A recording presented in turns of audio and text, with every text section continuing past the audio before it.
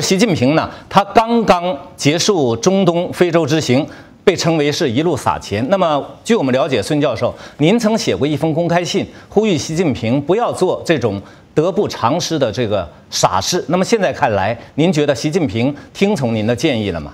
孙教授，呃，没有，没有听从我的建议。嗯，呃，而且呢，加强了对我的监视。